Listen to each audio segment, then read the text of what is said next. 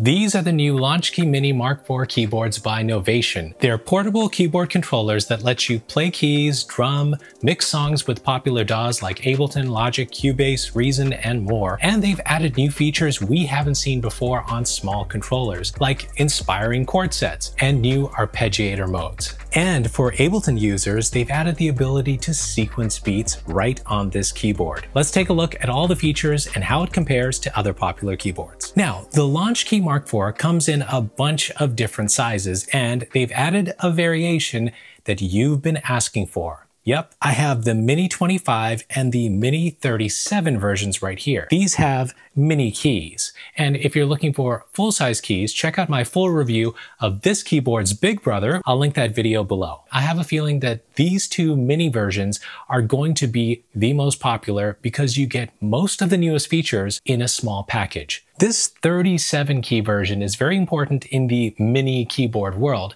because all too often the typical 25 key keyboard just feels too restrictive. If you're considering a new MIDI controller this size, you might also be looking at the Mini Lab from Arturia, the Oxygen Pro Mini from M Audio, the Akai MPK Mini, or the Native Instruments M32. All these keyboards are the most affordable from these companies, so the prices are similar. I'll cover some key differences in this video as well. And if you're interested in getting the LaunchKey Mini or any of the other keyboards, I'll put links below the video. So let's talk about the keybed on the new LaunchKey Mini. But first, these are MIDI controllers that you use with your computer to play software-based virtual instruments, control your DAW, and you can play hardware synths as well with this with the MIDI out. They don't have sounds built in. Okay, the LaunchKey Mini 25 and 37 have what Novation is calling synth action keys with velocity sensitivity. No aftertouch on these keyboards. The keys aren't the best feature by far. In fact, LaunchKey keybeds remain my least favorite as far as key feel, weight, bounce back, etc. They just feel a little cheap and too springy. I wish they had improved the keys on this new version. If you can deal with the longer size, the 37 version here is the one to get. You'll just enjoy having extra keys as you play. Also, you can adjust the velocity curve of the keys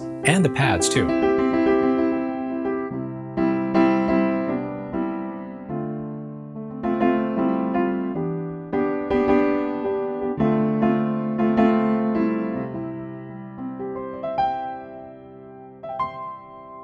How about the pads? I've always been a fan of pads on Novation gear. They're small, yes, but they have a good stiffness to them that makes finger drumming feel comfortable. The pads are velocity sensitive with poly aftertouch.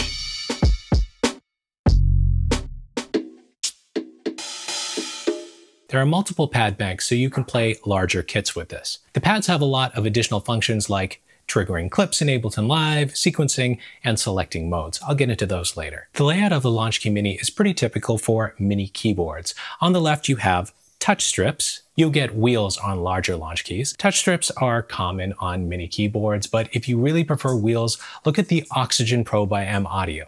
To the right of the touch strips, you have transport buttons. You don't get a lot, just play and record, but those are the most important. You also have the shift button here, for deeper feature settings, and actually Shift plus Record is Capture MIDI for Ableton Live. You use the Shift button for some deeper features as well. You've got Octave Up and Down, Shift plus Octave Up and Down is Transpose. To the right of that, you have dedicated ARP and scale features, eight endless encoders. This is a great improvement over the previous model. I'm so glad they went with endless encoders on this new version. The arrow keys next to the encoders cycle through different encoder modes. Below that, you have 16 pads and pad and track navigation buttons. The 16 pads are more than just drum pads. They have secondary functions like arming tracks, mute, solo, lots more that I'll get into later. To the right here, you've got scene triggering for Ableton and a function button that changes what the bottom row does. So they squeezed a lot into this small form factor, which means for some functions, you'll need to press Shift to access them or hold down a button to get deeper controls. On the larger models, you'll get more dedicated buttons, so navigating is easier on those. Honestly, the 37 key version has a lot of extra space. I wish they'd used it to give us more buttons on this one. There's room for it. You will find more buttons and even faders on other keyboards like the Minilab, but even the Minilab sacrifices some dedicated controls for simplicity. And also, this keyboard is missing a note repeat button you'll find on Akai MPK Minis. I always say this, think of what features you're going to use the most and make sure the keyboard you choose makes those features easily accessible. I'm glad Novation included a screen. The previous model of the Mini didn't have one. The screen is very useful and most keyboards at this price now have screens. The screen gives you feedback from your DAW. You can also see plugin parameters and your track names. You can adjust the brightness of the screen in the settings. All right, I'm going to cover DAW integration, which is quite extensive on these keyboards. But first, I want to go through some super interesting new tools that they've built into this Launchkey Mark IV. The scale ARP, and tools. And hey, if this video is helpful or informative, can you take five seconds to hit the subscribe button? It's totally free and would mean the world to me because it makes a huge difference in the content and value I can bring to you. All right, scale mode on the Launchkey Mini is a useful tool that helps you stay within a specific musical key as you play. This feature can be useful if you're experimenting with different scales or want to ensure that your notes fit harmonically with the rest of your track. You can select from lots of scales major, minor, Dorian. There's so much here. The first encoder selects the root note, and the second lets you choose the scale type. And the third adjusts the mode. There are three modes. In snap to scale mode, any note you press that isn't in the selected scale will be automatically adjusted to the nearest note within the scale. The filter out of scale mode takes a different approach by simply not playing any notes that fall outside of the chosen scale. I'll show you. Easy Scale mode simplifies playing by mapping all the notes of your chosen scale to just the white keys. Let's choose something a little bit more complex here.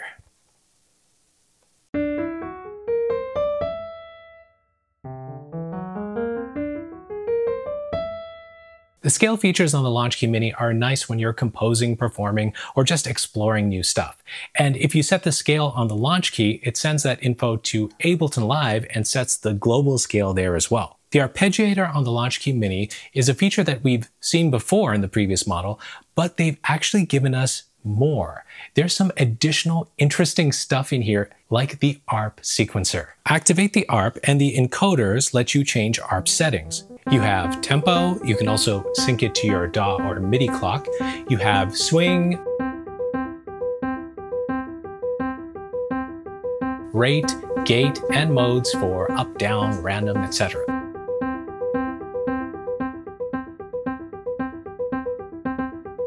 You can also control the number of octaves over which the arpeggios play. There's even a chord type mode where all notes play simultaneously on each step, and a strum mode that emulates the way chords are strummed on a guitar.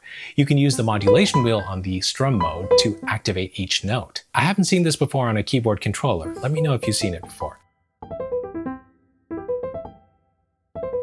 You've got mutate and deviate next. This lets you create rhythmic patterns by adding rests within the arpeggio. This can turn a basic arp into something more complex and interesting, perfect for kind of creating evolving textures in your music.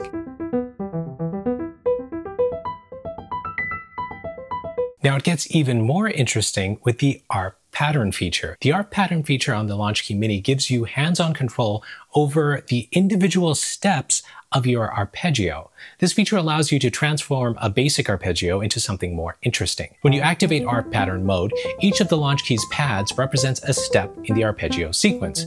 You can turn on steps or turn them off to create custom rhythmic patterns. Also, the ARP pattern feature includes controls for adding accents, ties, and ratchets to your sequence. Press the pads below the sequence to add them and the function button to change the mode. Accents increase the velocity of specific steps, making those notes stand out. Ties allow you to extend the length of a note, and ratchets subdivide a step into multiple triggers, adding rapid fire repetitions.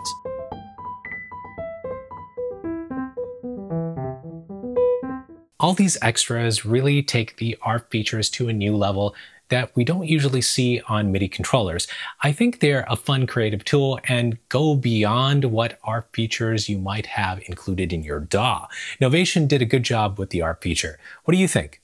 Do these extra scale ARP and chord features matter to you? Well, wait a second, we haven't gotten into chords yet. The Launchkey Minis come with some very cool, unique chord features that can really help with making music, especially when it comes to creating harmonies and complex chord progressions. And Novation has gone above and beyond what other keyboards offer here. There are three main chord modes. First up is chord map mode. This mode is about exploration. It allows you to select a scale and then gives you access to a range of chords that fit within that scale. So the chords are complementary. The launch key's pads are used to trigger these chords, and you can manipulate them further using the encoders to adjust parameters like chord spread and inversion.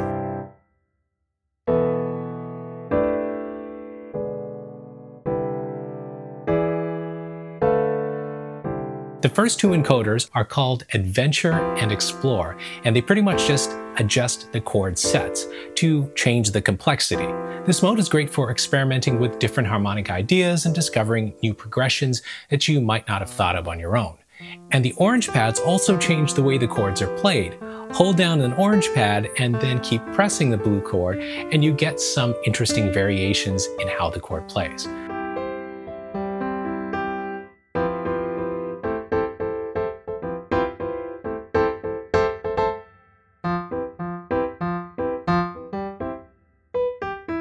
I love inspiring chord tools like this, but what I consider a major oversight is that the chords don't feed the arpeggiator. It would have been so cool to have these chords activated with the ARP patterns included here too. Maybe they can do that in a firmware update. So this is not a deal breaker, but it is a limitation of such an excellent feature on this keyboard. Now, we have seen great chord inspiration features like this on native instruments keyboards. Well, not really the keyboard. It's built into the software Komplete Kontrol. They have chord sets like this, complementary chords, but you have to be running the software to use them with their keyboards. Novation actually built the chord sets into the Launchkey Mini, which is even better. Okay, so we have two more chord modes. User chord mode allows you to create and store your own custom chords. You can assign a specific chord to each pad by playing the notes you want directly on the keyboard. This is especially useful if you have a few go-to chords that you use frequently in your tracks. Next is fixed chord mode. In this mode, you can play a chord on the keyboard and then lock it in, so that every key you play afterwards will play that same chord just transposed to different pitches.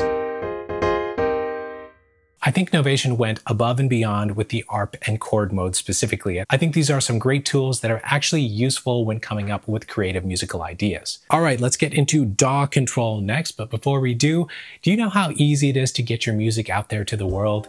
You can do it yourself with DistroKid, the sponsor of today's video. DistroKid lets you upload your music to Spotify, Apple Music, YouTube Music, pretty much everywhere. Best of all, they make it really easy. Just upload your track, add some artwork, and they do the rest. DistroKid also collects earnings for you when your listeners play or purchase your music. And they help you market your music with tools built right in. A hype or follow page lets you share your music with your friends on Facebook or anywhere you can share a link. And they can easily follow you to get notified of your upcoming releases. I've actually created two dedicated videos on DistroKid to give you all the details. You can watch those right here. And if you're ready to sign up, I'll include a link in the video description that'll give you 7% off your first year of membership.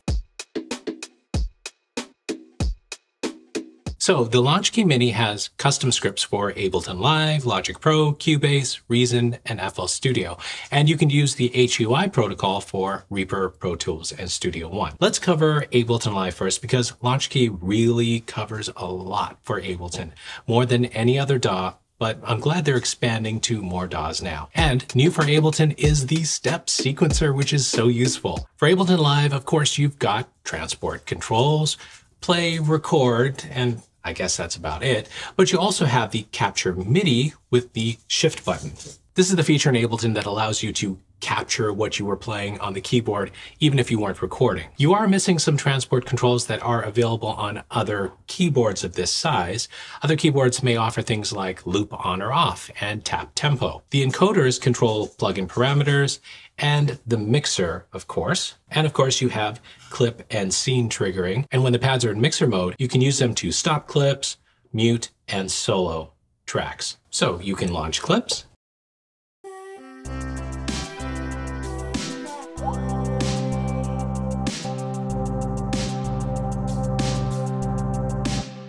and even record new clips directly from the launch key. And the pads match the clip colors in Ableton Live. This setup is ideal for live performances or when you're building up ideas in session view with the scene up and down or the track navigation buttons. There are multiple encoder modes on the launch key. In plugin mode, the encoders give you direct access to the parameters of the currently selected device or instrument. You can tweak effects, adjust synth settings, and more, all without needing to touch your mouse. And of course, you see the parameter you're changing and the value on the screen. If your device has more than eight parameters, you can switch the encoder banks with these buttons here. If you put this in mixer mode, the encoders control things like track volume levels and pads. You can also change the mode to sends to control sends on the mixer. Now the transport encoder mode is also interesting. This mode allows you to scrub through your arrangement, zoom in and out, and adjust loop start and end points. You can also use it to navigate between markers that you've set up in your project. The pads in Ableton Live have three main options, clip, sequencer, and drums. Clip mode lets you launch and control clips as I showed you earlier. Sequencer mode gives you the ability to step sequence MIDI notes directly from the launch key on a 16-step sequence, which is great for creating drum patterns or melodic sequences. Press Shift and DA to get into the sequencer mode, then load a drum kit and a blank clip and press play. Press a keyboard key that corresponds to a drum sound, and then press the pad to start adding those into the sequencer.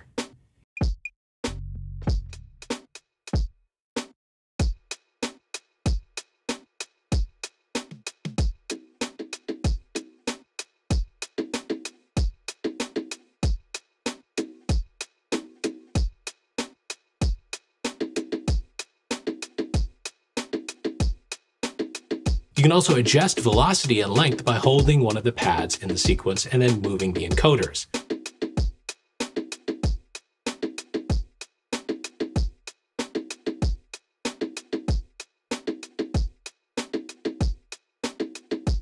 And you can even nudge notes or lengthen notes.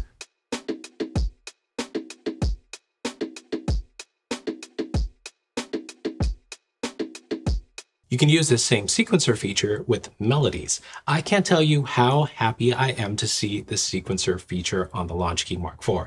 If you have longer clips, you can see additional sequence pages using the up and down arrows. It's just so useful given that Ableton doesn't really already have a good way to sequence beats like this. So Novation always covers Ableton Live very well on their launch keys, so how about other DAWs? Let's explore what we can do in Logic.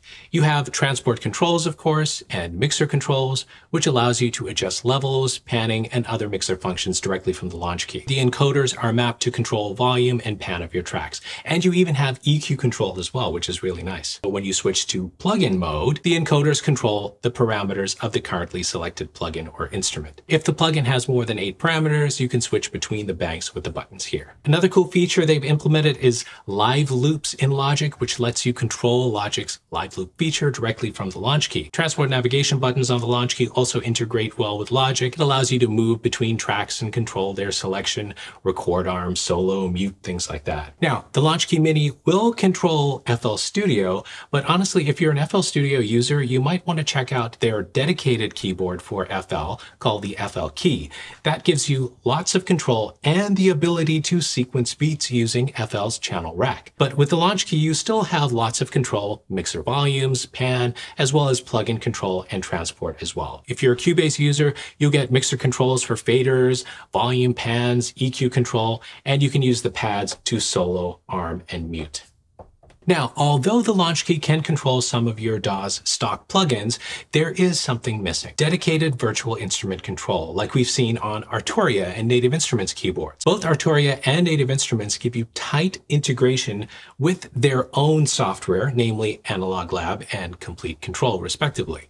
This means you can browse presets, load them, and then tweak parameters When keyboards have that kind of integration, it makes exploring sounds so much nicer, especially with large libraries. That type of integration is missing on the launch keys. So if you're a heavy user of Arturia or Kontakt, you want to explore what Arturia Native Instruments have to offer when it comes to that type of virtual instrument integration. I really like that type of integration, but given that Novation is not a big name in software instruments, they really can only give us stock plugin control, which they have done really well. All right, I haven't showed you everything under the settings menu. You can do a lot here, including setting MIDI channels for keys, drums, velocity curves, aftertouch, and pad and screen brightness. So the build quality of the Launchkey Mini is pretty much on par with what we've seen before. This is definitely not meant to be a premium keyboard. It's definitely on the budget side of things. The knobs do feel really good with good resistance. The buttons feel good as well no audible click. The encoders are definitely looser than Arturia encoders, which those are a bit too tight for me. I feel like the Minilab 3 and the Oxygen Pro from M Audio feel a little better as far as build goes, but those are larger keyboards overall. The Launchkey is one of the smallest mini keyboards you can get right now. So if you prefer something very compact, this is a great keyboard to get. On the back, you have a mini MIDI out and sustain pedal port and the USB-C connector. Not too much over here, but it's good that they included that MIDI out because those chord and ARP features would be so nice to use on an external synth. So Novation has included a very interesting software package with the new launch keys. Really unique stuff here. You have a few effects from Klevgrand, some G-Force synths, and even an orchestral bundle from Orchestral Tools. You also get Ableton Live Lite. It's good stuff to get you started making music and very different from some other companies. So how does the Launchkey Mini compare to the competition? Well, I really think they've given us a lot with this new keyboard. They've covered the top DAWs, given us that Ableton Live sequencing feature, and the new chord and ARP tools are really nice as well, above and beyond what we usually see on budget mini controllers. If you're an Ableton user, you get outstanding control of Ableton Live with clip and scene triggering. Now, if you're looking for virtual instrument integration, you'll get better control with Arturia and Native Instruments keyboards. Of course, that's with their own plugins. Native Instruments has a 32 key mini keyboard, the M32, and while that has nice Native Instrument software integration, it's missing a lot of features like drum pads and onboard arpeggiators and scale and chord features. It's worth noting what features you're most interested in before you make a decision on one of these keyboards. And if you're looking for a larger version of the launch key with a few more features and maybe even faders, check out my full review of the Launchkey 49. I really like what Novation has done with the new Launchkey Mini. They've leveled up the features for Ableton Live users, which are their core base for years, and they've really given us some great chord and ARP features that can be used with your DAW or even with external synths. If you have any questions about the Launchkey Mini, leave them in the comments below. If you're interested in checking out any of the keyboards I mentioned in this video, I've added links below as well. And hey, if you're looking for my latest keyboard review, watch the video right here. Keep making the music you love, and I'll see you soon.